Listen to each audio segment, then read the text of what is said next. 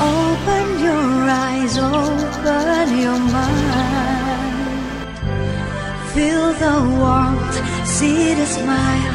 Friendship and love, that's what I feel.